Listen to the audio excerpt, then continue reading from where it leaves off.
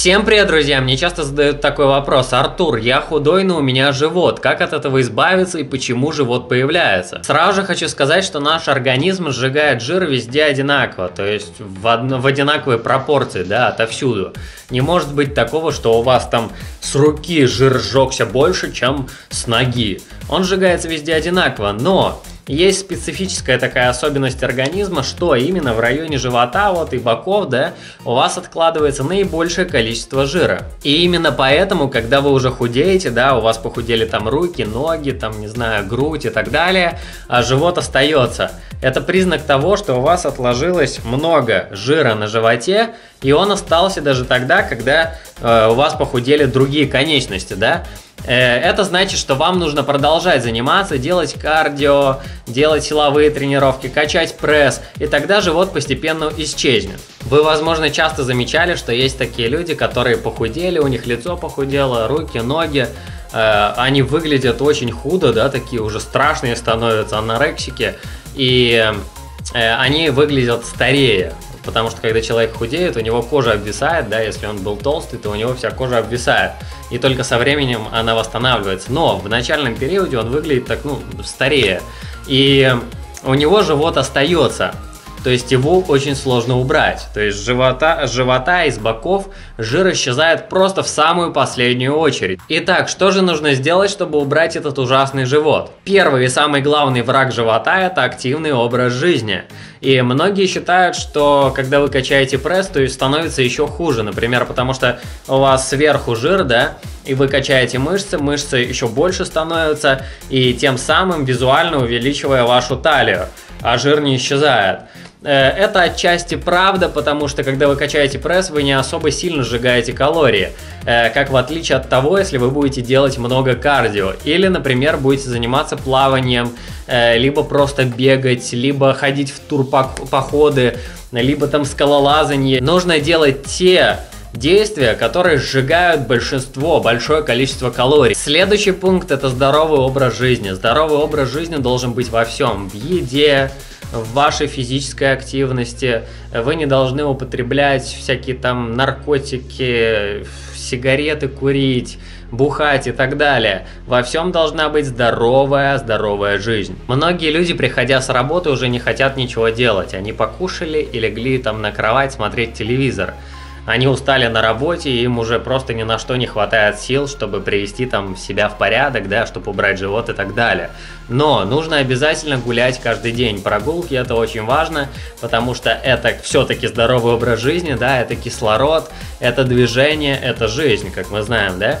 И сжигаются калории, естественно. Нужно ходить где-то хотя бы, хотя бы 2 километра в день.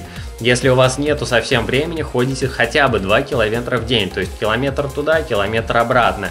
И вот от этого тогда у вас будет постепенно сжигаться жир, вы будете тратить какие-то калории, потому что люди, которые много работают в офисах за компьютером, продавцами и так далее, на кассе сидят, у них вообще просто копится один жир, они кушают и копят, кушают и копят, и они никак его не сжигают. Если вы такие, то вам придется как-то это делать, либо заняться спортом, либо ходить там на плавание, либо э, просто ходить по улице и так далее. Ну и напоследок скажу вам упражнение, которое помогает держать кор живота, да, то есть э, будет мощный кор, и тогда живот так сильно выпирать не будет у вас.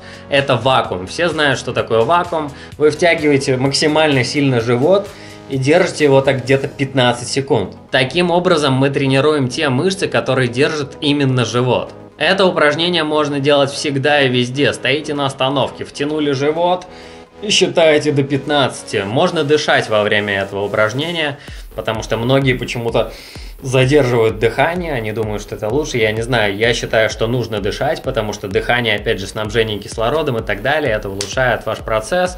Стоите на остановке, я не знаю, поссорились с какой-нибудь там девушкой, например, она вам что-то втирает, вы втянули живот, стоите просто и внюхиваете то, что она говорит, короче.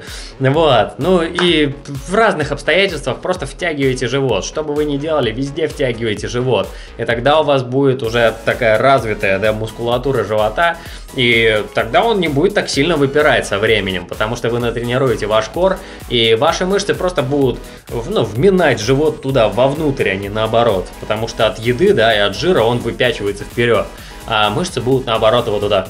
Ну что же, подведем итог. У нас два получилось, да, основных пункта, которые помогут вам убрать живот. Ничего сложного. Это активный образ жизни. Обязательно нужно быть активным, не сидеть на диване, не смотреть телевизор. Лучше пошли, вместо этого прогулялись, я не знаю, побегали, пробежались.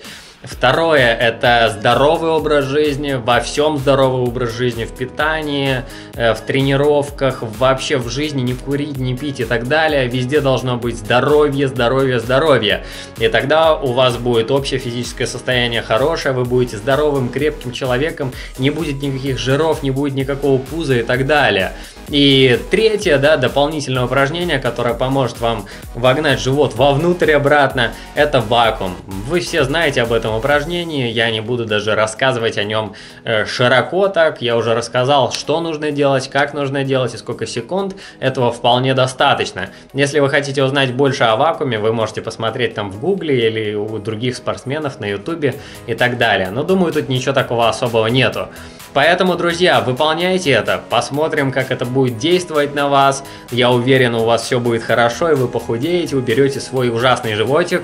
И спасибо за просмотр, друзья. Рад, что вы посмотрели это видео, покажите его своим друзьям, поставьте лайк и увидимся в следующем выпуске. Пока!